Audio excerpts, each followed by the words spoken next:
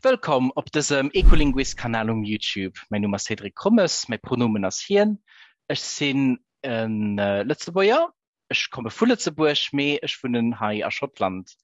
Ech hunn Doktorat an der Linguistik, an der Korpuslinguistik Lützebuierch, äh, mir Moment schaffennech an der Datensicherheet an am Datenschutz. Äh, mir hunn haut äh, drei Gächt, mir hunn Marlene äh, aus Eestreich, mir hunn den Nobby, aus Kalifornien, also aus den Vereinigten Staaten, an mir de Ricard aus der Schweiz. Wat ma haut machen, haut Ginneschminge gascht, feier wieder, an zwar ginnech feier Deskriptionune vun de Wider. Am en Gascht muss roden, wat die feier Wider sinn. Min Gascht könne kehle ze beuech. Dofir schwätzen sie an ihrem Dialekt und an ihrer Spruch an mir schwätzen also all als ege Varietéit. An der Reihe leid Okay, an der Reihe tipptop.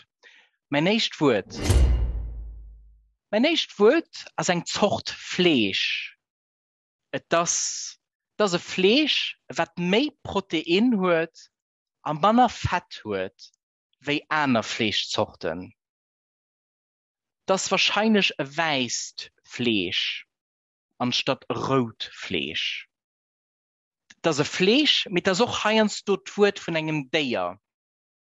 Deier ähm, as Bauuren hunn oft dat Deier äh, am Gedals fé gezielt, hauptsächlich fir Fleisch a fir eher.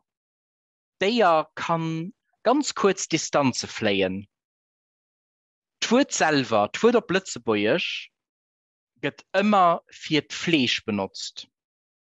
Haiiers du benutzt mir doch fir déier wie fir déier hummer auch aner wieder. Dat waret, dat war még Deskriptionun. Hummer Ideen. Ricard? Ich glaube, ich habe eine Idee. Äh, aufgrund dessen, was du gesagt hast oder was du gesagt hast, was du beschrieben hast. Ich weiß noch nicht ganz genau, ob es Fleisch von dem Tier spezifisch gemeint ist oder das Tier selber? Ah, okay. Ja. Fleisch. Das Fleisch. Ja. Gut.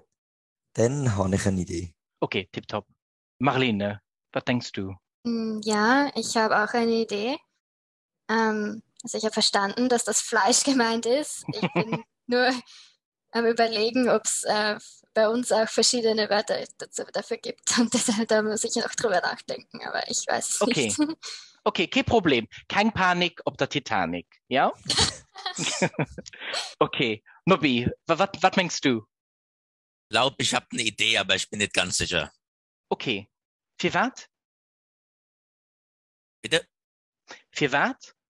Ähm, also ich, ich, ich habe verstanden, dass es Fleisch, eine Art Fleisch ist, eine Sorte Fleisch. Ähm, Mhm. Und dass die Tiere eventuell ein kleines bisschen fliegen können. Genau, das ist richtig. Ja, korrekt. Okay, dann glaube ich, weiß es, was es ist. Okay, tipptopp. Was das Edward? Weise wann ich glift? Hühnerfleisch. Poulet auf Schweizerdeutsch. Händel oder Händelfleisch, aber das klingt komisch. Also Händel. Okay.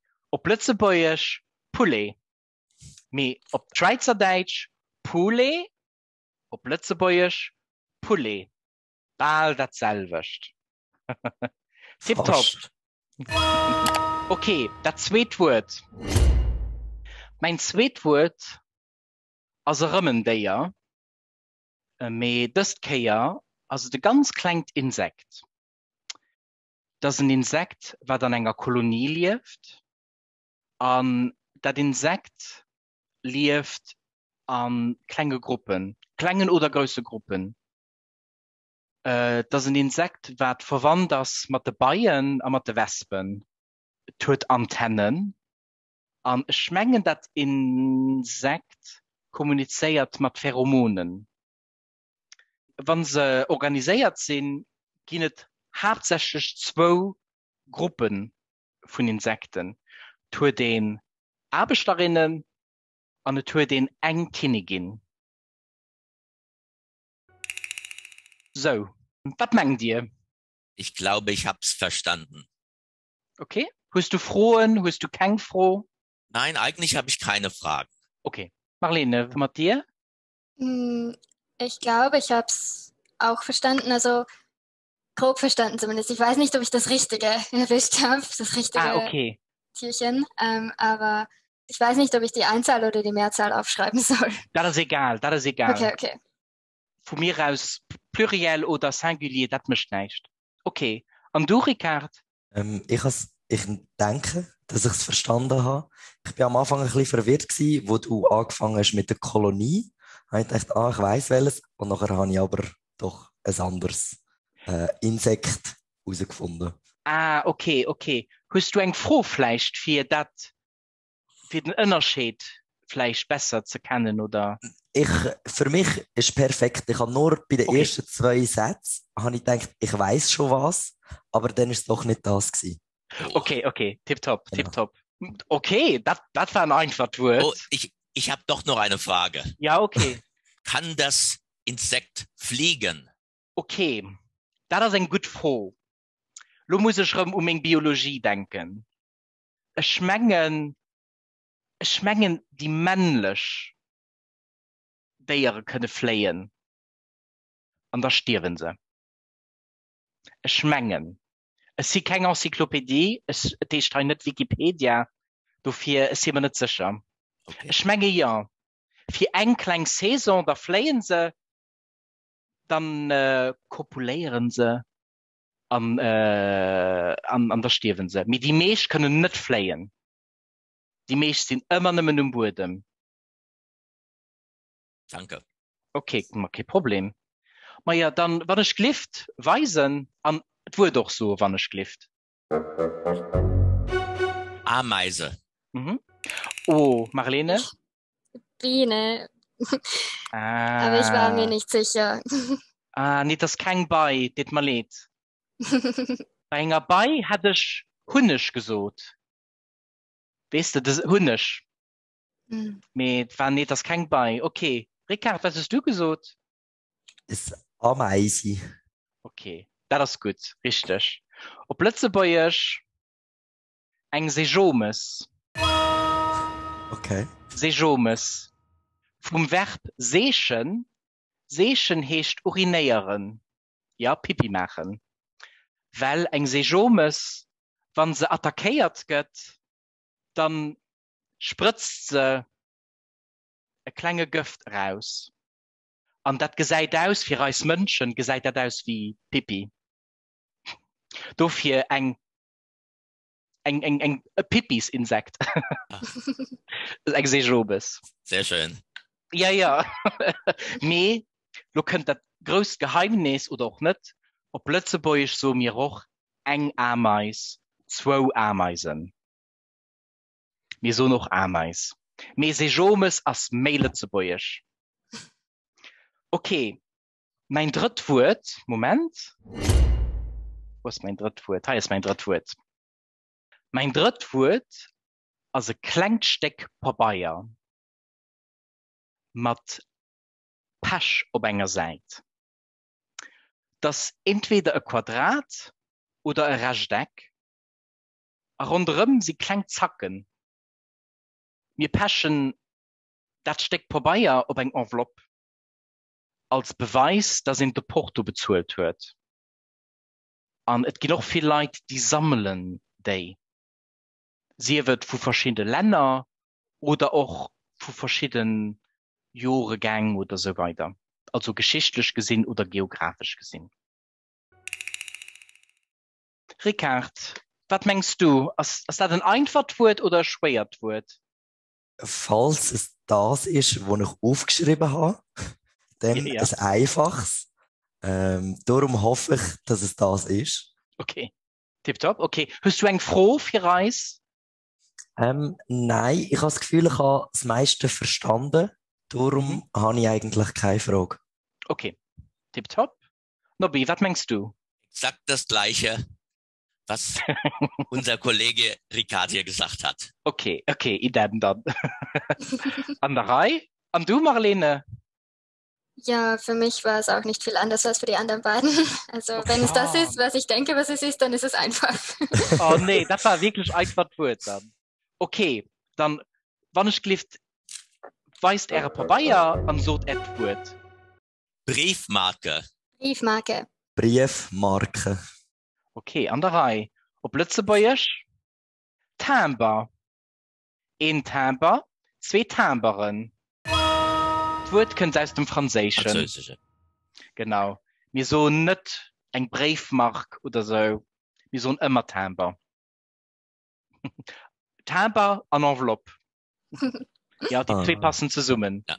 Okay dat lächt wurt äh, was der mélächt wurt heiers mélächt wurt so mein Lächtwur ass Appes wat mir an der Kichen hunn Et das mëttelmeesg Grous dat, dat, dat bedeit goneicht.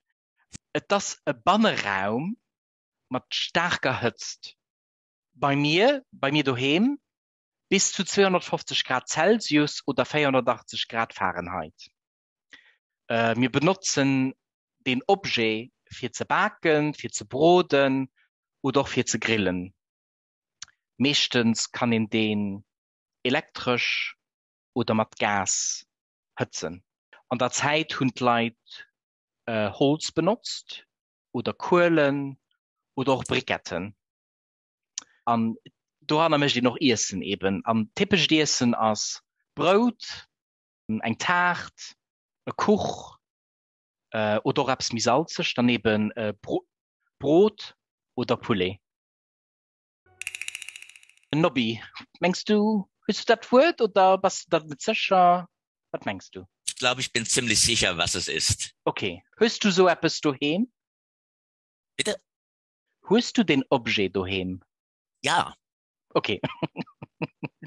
okay. Und du, glaub, Ricard? Ja, nee, so, so, nur wieso, wann ich glaube, ich glaube, die meisten haben das zu Hause. Ja, wahrscheinlich. An Amerika, mich- an in Europa, ja. Ich kann mich da auch anschließen. Ich kann sagen, ich hoffe, jeder hat so etwas daheim. Oh, viel was hoffen. Äh, ich weiß es nicht. Es ist so ein Alltags, äh, ein Alltagsobjekt, dass man das quasi nicht, nicht daheim kann haben. Ja. okay, das heißt, Ricard, du weißt, was den Objet ist. Ja. Okay, tipptopp. Und du, Marlene? Ich glaube, ich bin mir relativ sicher, Ja. aber ich, ich weiß nicht. Um sicher zu gehen, kann man das aufklappen oder aufschieben in einer Art?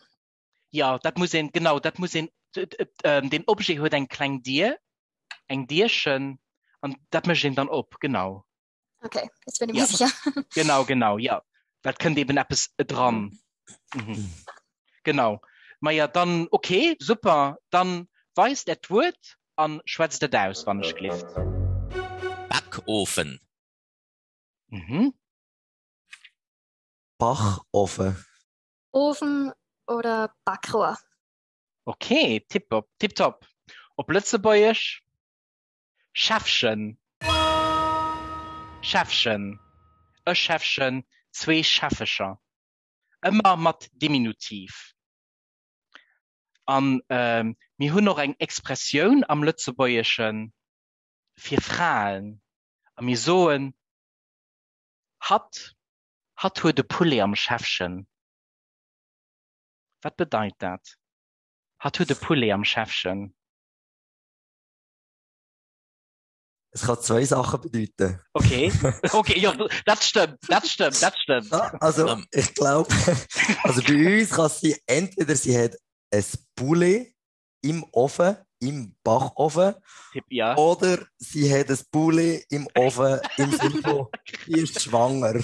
Genau. Aber wir würden das auf Schweizerdeutsch nicht unbedingt so sagen. Es wäre sehr, hm, es klingt fast ein bisschen abwertend.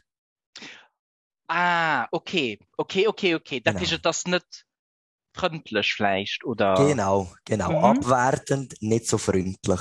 Okay, okay. Genau. Marlene, Sie sind da doch an Österreich? ich, ich kenne den Ausdruck Braten in der Röhre haben, aber, aber den kenne ich nur aus Büchern und den habe ich noch nie irgendwen sagen gehört und ähm, es klingt auch nicht besonders nett für meine nee, Ohren. Nee, das also. stimmt. Das stimmt, du hast recht, ja. Und du, Nobby? Ich weiß nicht, ob man das in Deutschland sagt, aber ich habe dann sofort oder bald verstanden, was du gemeint hast. Und deswegen habe ich es irgendwo gehört. Okay. Aber ich weiß nicht, woher ich das wusste. Okay. Um, ob Englisch vielleicht? Bun in the oven, sagt man, glaube ich. Genau. Ah, Ja, genau. Sag's nochmal. Bun in the oven. Ja, genau, das ist es. Ein Brötchen am Schäfchen. Ja, Mhm. ja. Mhm. Aber das ist, das, das ist mehr britisch. Das ist also kein amerikanisches Englisch, Okay. glaube ich. Denn a bun, ähm, das, nein, a hamburger bun, aber sonst, sonst benutzt man, Ah. Okay, okay, ja. Mhm. Ja, Großbritannien, also Bun, Brötchen. ja, nee, das ist, also ich meine, hamburger bun sagt man, aber sonst sagt man a roll or a bread roll. Mhm, mhm, mhm. Okay. Ah, wieso, dir ein Brötchen an ihrer Varietät?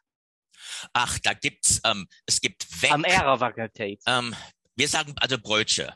Aber es Okay. gibt auch, es gibt auch Weg, Weg, Semmel. Ähm, ja, also Okay. in Frankfurt, in Frankfurt sagen wir äh, äh, Brötchen. Okay. Okay, tipptopp. Ah, Marlene, wie seht ihr bei ihr dann? Brötchen. Es kommt auf die Sorte drauf an. Also es ist generell Semmel, aber es gibt für, für manche, was vielleicht nicht rund ist oder ein bisschen eckiger, dann sagt man vielleicht Weckerl und Ja. Okay. Also denk von der Form auf dann. hm, ja auch. Aber bei dir, Ricard, an der Schweiz oder bei dir zu Luzern?